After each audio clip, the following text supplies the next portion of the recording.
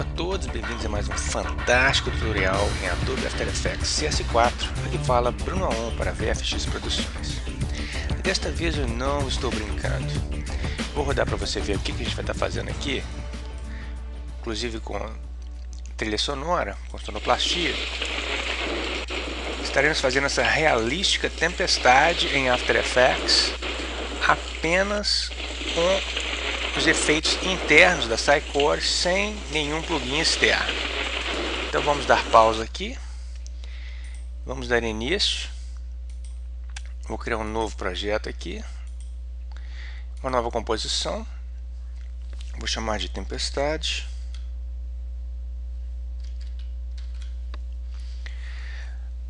Preset Pound é um DV Square Pixel, duração de 8 segundos, eu dou OK. Rapidamente criamos um novo sólido, que eu vou nomear de nuvens, mesmo tamanho da composição, dou OK. Em seguida, a gente aplica nele Fractal Noise. Nós vamos utilizar o Fractal para fazer o formato das nuvens e animação. Algumas alterações são necessárias, a começar pelo Fractal Type. Nós vamos mudar para Dynamic. Alteramos o contraste de 100 para 200 e o brightness para menos 25 que vai dar essa textura mais próxima de uma nuvem. Nós vamos animar um parâmetro diferente aqui hoje que é o Turbulent Offset. Vamos marcar um keyframe aqui com o timeline no quadro zero. Eu levo até o final e vou aumentar o, o, o X para 1000 isso faz com que as nuvens é, movam né, na direção horizontal, dando a impressão de, de estarem sendo empurradas pelo vento. E para aumentar a dinâmica aqui, nós vamos aumentar um outro, nós vamos animar, aliás, um outro subsetting aqui, que é o subrotation. Então a gente coloca o timeline de volta aqui no zero, marca um keyframe, Vamos levar para o final e vamos dar apenas 10 graus de rotação aqui. Então, a soma desses dois movimentos dá uma, uma rotação com o movimento da esquerda para a direita, certo? Então, o trabalho no fractal em si está pronto. A gente pode fechar ele aqui. Agora nós vamos fazer uma máscara com o layer selecionado, vou na ferramenta de retângulo e trago mais ou menos um pouquinho abaixo da metade da tela. Abro os parâmetros da máscara e vou aumentar o feather da máscara para mais ou menos uns 150.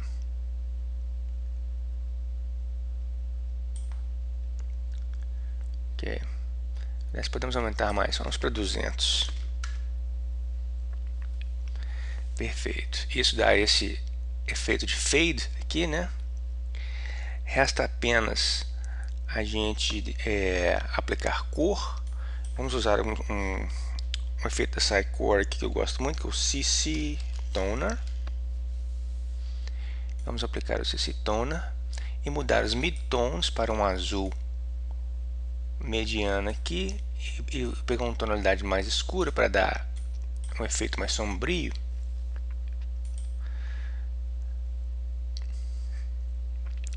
E resta apenas agora fazer uma modificação no layer para dar uma impressão mais tridimensional. Isso a gente consegue através do efeito Corner Pin. Está Corner aqui? Eu vou aplicar Corner Pin. Deixa eu desligar a máscara aqui. Então o Corner Pin ele adiciona esses quatro, essas quatro âncoras nos cantos do layer. E o que a gente faz aqui é o seguinte, nós vamos subir pressionando Shift aqui mais ou menos até este ponto e a mesma coisa do lado de cá. Vamos reduzir a, agora a tela e vamos puxar os de cima para fora bastante, pressionando Shift para manter a linha horizontal. Então você vê que a gente, a gente ganha em perspectiva e quando a gente retorna aqui, veja que efeito fantástico dá a gente tem aquele efeito de profundidade no horizonte. A gente pode aumentar um pouquinho mais. Vou selecionar o corner pin aqui. pressionando Shift, vou arredar mais para os dois lados, para dar mais efeito de distorção. Agora está ótimo. Perfeito. Você vê como a gente tem um efeito do céu, né? Então, na verdade, resta apenas uma coisa a fazer aqui. Nós vamos aplicar um, quarto efeito aqui para criar é, os relâmpagos internos na nuvem. Então, para isso a gente vai usar o efeito de correção de cor Levels.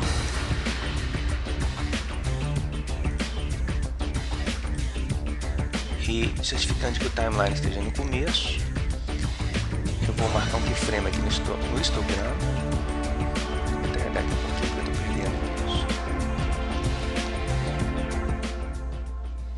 Então, a gente marca um keyframe no primeiro quadro e vamos aqui, vamos andar 10 quadros no timeline. A gente pode pegar com precisão empurrando aqui e vamos pegar aqui este, este ponto de ancoragem aqui da, da direita e puxar ele para mais ou menos aqui até 100 certo. Agora a gente anda até 15 e dá reset. Dá reset no levels. Então isso vai dar esse efeito. A gente pode pressionar U para abrir os keyframes aqui no timeline. E nós vamos fazer o seguinte. Nós vamos copiar isso aqui. E vamos dar Ctrl C em alguns pontos diferentes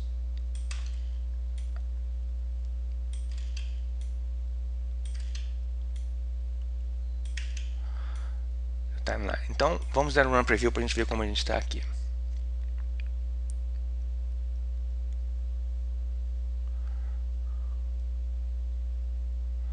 Aqui já dá para a gente ver.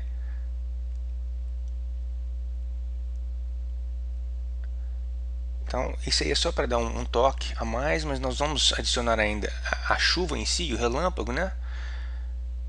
Então, aqui tá bom, nós podemos fechar, o trabalho nesse layer está pronto, certo? E agora nós vamos então fazer a chuva em si.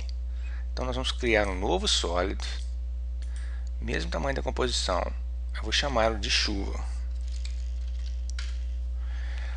E eu vou aplicar um efeito aqui que pouca gente conhece, mas é sensacional, que chama CC Rain. Esse efeito gera uma, uma animação de chuva, tá?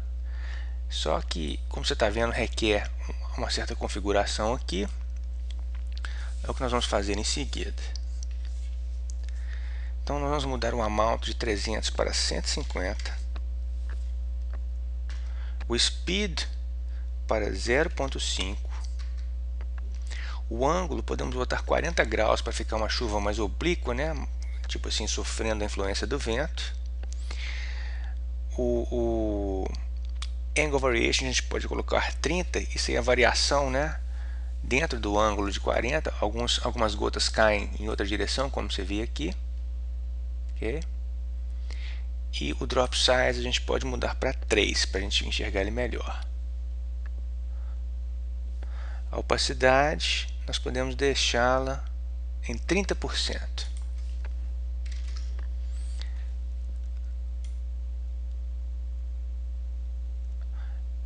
Você vê que é, a gente tem assim uns riscos, né? Então nós vamos aplicar o último efeito aqui, que é o Fast Blur, para deixar, para corrigir essa falta de suavidade. Então coloco o Fast Blur e aumento o Blurriness para 1, dando esse efeito aí. Finalmente, eu vou trocar o Transfer Mode para Screen. Então, por enquanto a gente tem isso aí, né? Nós vamos dar uma pausa para a gente poder continuar no próximo segmento.